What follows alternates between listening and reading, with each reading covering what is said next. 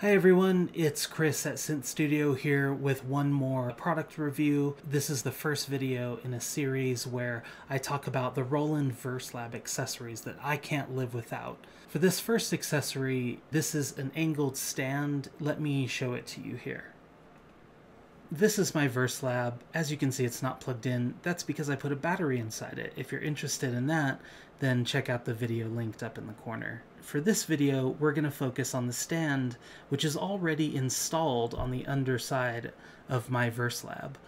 It's this little tiny thing right here. Let me just show you quickly what it does.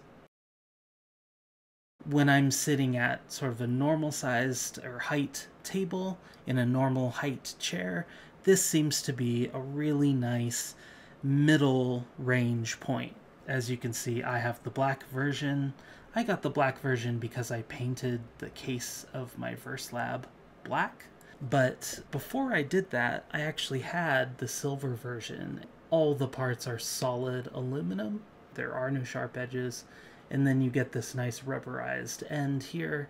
When you don't have the feet open, you get these nice soft pads. And it works great. If I tip up, my VerseLab, you can see the directionality of it, that it is angling down. The thing I like about them so much is that uh, they do just stay very flush with the VerseLab. It, it adds very minimal weight and bulk so what you're seeing here is the Amazon listing. The rating is really good. The brand is called TriYards. It's made for laptops, so as you can see here, it's nine and a half inches wide and about an inch and a half deep, but only 0.2 inches thick. It really does improve the ergonomics. So very affordable at $13. Let me just switch back here and I'll show you just kind of the, the span that it has. So the VerseLab is obviously a pretty wide box. I have never found an issue where the VerseLab is kind of rocking to one side because of the feet being up. So I don't think that you'll have that issue either. It does come with a high quality adhesive already applied to the back, so it's very quick and easy to install. Um, the adhesive is not permanent either. If you just heat it up a little with a blow dryer or something, it'll come right off. I think for the price, this product is a uniquely perfect fit for the VerseLab. I'm keeping it installed on my VerseLab. I love this thing. It just works. I've had it on for almost a year, so I've really tried a lot of different scenarios with it on, and I'm really happy to recommend this stand. I think that if you're looking for something that's a semi permanent installation like this, that's what I was looking for, then I think this is the best product available for it. That being said, there are a few other things that I tried, and if you can't get a hold of this or it's out of stock, here are another few options that I'll show you.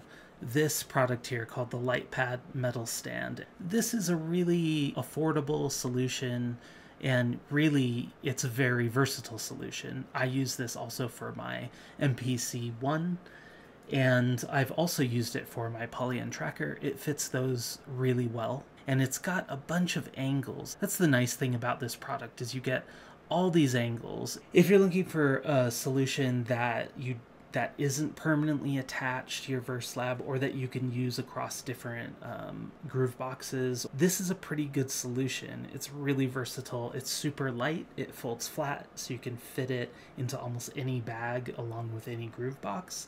That being said, personally I prefer that semi-permanent solution even though there's fewer angles in a studio context, this riser stand has been really useful uh, it's super solidly built. I'm not going to go get mine, but you can see the pictures of it.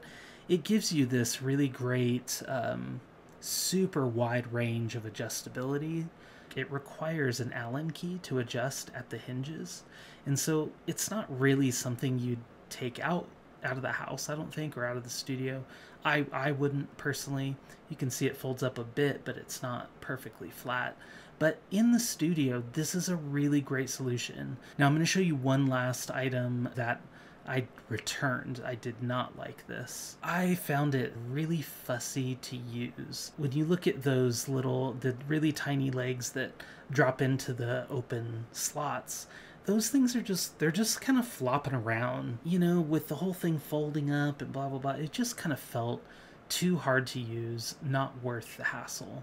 I would encourage you to stay away from those types of stands personally. For my particular use case, I'm almost always have my VerseLab on a table in front of me. I don't I don't need tons of adjustability and, and all that. I guess the other part of this is that you're always setting this whole thing up. Like, I really like the simplicity of having just one thing connected already to the verse lab. I mean, that's why I put a battery inside mine. Yeah, it was a huge hassle.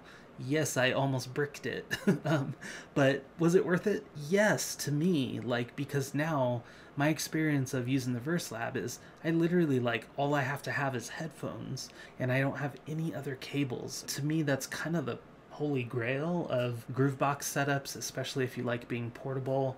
I definitely recommend grabbing a set of these if you're going to put an angle stand of any kind onto your VerseLab. They seem to perpetually be on sale. I like that the set includes uh, clear ones and black ones because it can just match whatever Groovebox you're working on. So there's lots of different sizes in the set. You can't go wrong with a set of these feet. I'll show you where they're installed on my verse lab. You can see on the front here, I've actually put uh, two. And let me go up so you can see a bit of the detail there. So they're pretty high profile. They're definitely stronger or kind of thicker than the ones that come on the verse lab. So, and I peeled those off. I just happen to put two. I don't know why I did that. You don't need two, just one in each corner. But these really help because when you're like doing this angling thing like this, you got your stand up and you're creating this angle. And so it's nice to get these right towards the front like I've got them here because then they'll contact the surface um, when you've got the stand tilted at an angle like that. And it does really work.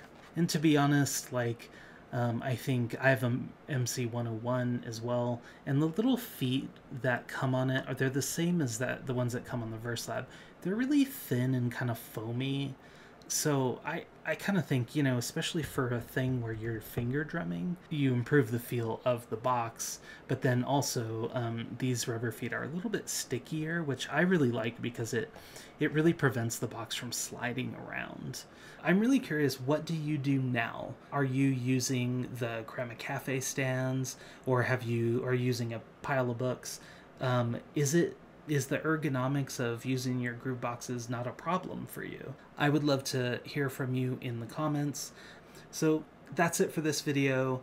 All the links to the products are in the description. I might earn an affiliate commission if you use those links, but it doesn't cost you any extra and it gives you a chance to support this channel. So stay tuned for the rest of the accessories that I use for my Roland VerseLab. I've done a lot of trial and error. I think you'll really enjoy it. Thanks for watching.